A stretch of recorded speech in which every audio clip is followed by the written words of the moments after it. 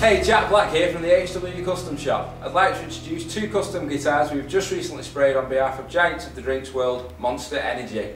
The original basses are Kramer Strikers, Kramer being part of the Gibson family of brands. The HW Custom Shop consists of Phil Crompton, Yep.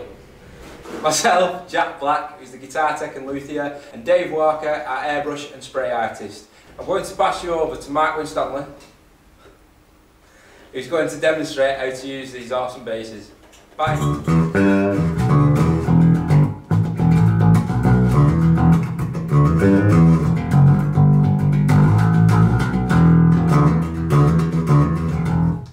Thank you.